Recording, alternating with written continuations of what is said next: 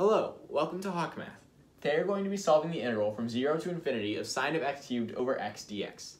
Now my first thought when I see this is maybe we can try expanding out the sine of x cubed using Taylor series, but if you try that, it actually doesn't work. So another thing we can use to try to solve this is Feynman's technique. And the reason we might want to use this is because it's very similar to another integral, sine of x over x dx, and that's very well known in a common problem that is that Feynman's technique is used to solve. So how do we do this? Well, it actually takes a little bit of creativity. Instead of doing this problem directly, what we do is we set i of a equal to integral from 0 to infinity of e to the negative a x cubed sine of x cubed over x dx. Now, where did I get this from? Because this looks like I just made it up out of nowhere. Well, let's look at some similarities. So we have an a up here, and this x cubed is the same as this x cubed inside the sine. And so the reason why I did this is that when we take the derivative, um, take the derivative of i of a with respect to a, then what happens inside here? Well, taking the derivative the inside here, this part's just a constant. Taking the derivative of this will just leave you, by chain rule, with a negative 3x squared in front. And then one of those x squareds will cancel with the x, leaving an x squared in front. And then that can be a u sub to get rid of this x cubed and this x cubed and the x squared in front. And then we can actually solve the integral in terms of a. So now let's proceed to take the derivative. So i prime of a is going to equal, we still have the integral from 0 to infinity. Now, taking the derivative of this, this exponent will still stay, so we have e to the negative a, x cubed. And now with respect to a, we'll have a negative x cubed, and then everything else will stay the same. So we'll still have a sine of x cubed over x dx. Now, as we see, this x will cancel with this, so actually I'm going to try to simplify this one more time. So we have the integral from 0 to infinity of e to the negative a x cubed. Now this x will cancel with one of these. I'll bring the negative sign to the front. So I have an x squared sine of x cubed dx. Now this integral is actually not that bad to solve because we can do a u sub, u equals x cubed. That will make this inside go away, this exponent become simple, and this will go away in the du. So let's do that. So u equals x cubed, which will make du equal to 3x squared dx. So x squared dx is equal to du over 3. Okay, so now let's plug everything in that we know. So we have this equals the integral from 0 to infinity of, so the negative x squared dx will become the 1 third du. So I'll write the 1 third right here, and I'll wait to write the du. And then we have this e to the negative a u sine of u, and we have the du. And now this integral is actually very doable through integration by parts. So I'll clear up the board a little bit, and then let's go ahead with that. Now, proceeding with the integration by parts, I'm going to integrate negative e to the negative au and differentiate sine of u. And I'll move this one third to the outside right now so we can deal with it later. Okay, so now, uh, integrating, we get e, 1 over a, e to the negative au. Integrating again, we'll get a negative 1 over a squared, e to the negative au. And now differentiating sine, we get cosine. And differentiating, we get negative sine. And then we can stop there because I realized that once we expand this out, we'll actually get a form that combines nicely with this i prime of a. So, rewriting out our expression, we have that i prime of a equals, and distributing this one third to each term, we have a one third sine of u going diagonally, and then a 1 over a e to the negative au. Now we'll have a plus one third cosine u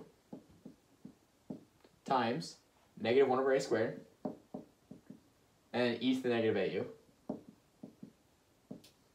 I'll just draw a little separator right here. Okay? And now we have the last part plus one third the integral from 0 to infinity of sine of u times 1 over a squared e to the negative au.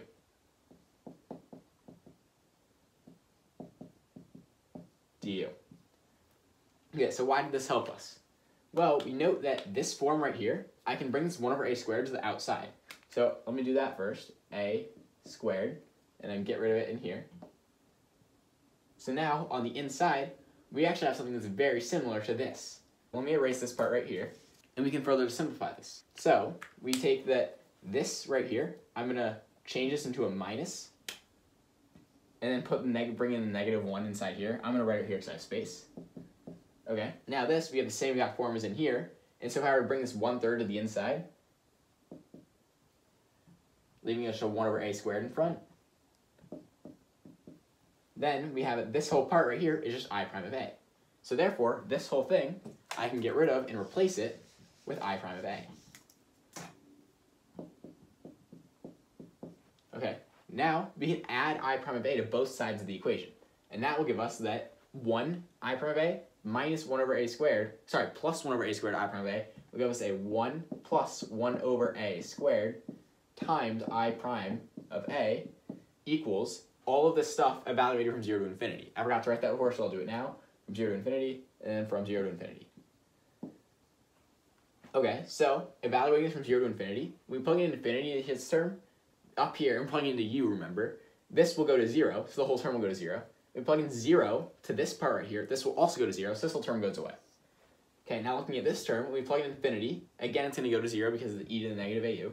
When we plug in 0, this is going to go away, and we're going to, cosine of 0 is going to be 1, and we're going to be left with a negative 1 over 3a squared equals negative 1 over 3a squared.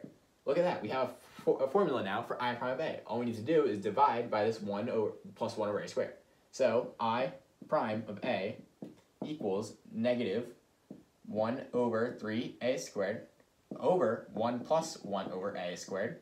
Now I'm going to multiply by the numerator and denominator both by 3a squared to simplify this.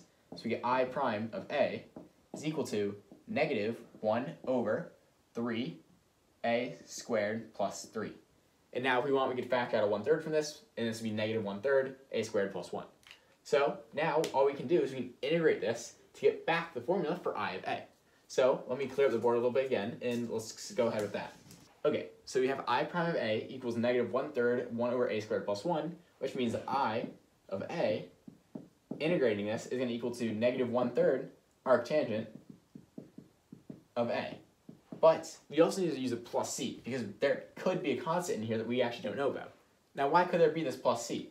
Well, our original goal is to find i of 0. And the reason why is because if we were plugging 0, then we'd have e to the 0th power, which is 1, and leaving us with i of 0 is equal to the integral from 0 to infinity of sine of x cubed over x, which is the original problem. So trying to find i of 0, if we were plugging 0 into this equation, we could find arctangent 0, but then we have this unknown plus c. So we need to solve for this unknown plus c. And how can we do that? Well, if you're clever enough, you realize that as a goes to infinity, the limit of i of a, as a goes to infinity, is going to be 0. Because this term is going to get smaller and smaller and smaller, so the limit as i goes to infinity of this integral is 0. Which means that the limit of this as a goes to infinity is also 0.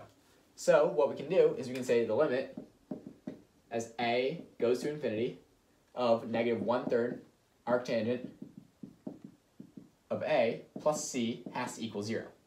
So now, as a goes to infinity, arctangent will go to pi over 2. So you have negative pi over 6 plus c equals 0. So c must equal pi over 6. Now we can plug that back in to right here.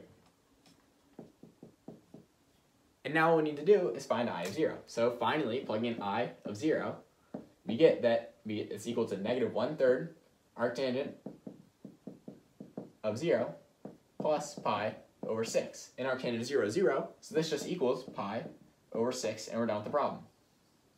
So this is called Feynman's technique, and the way you use it is to set the original problem equal to i of a, or i of some function, and then differentiate.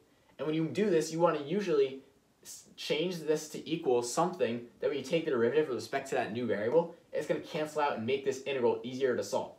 So thank you for watching. I really hope you enjoyed the video. Please like and subscribe if you want to see more like it, and feel free to leave any comments or suggestions down below.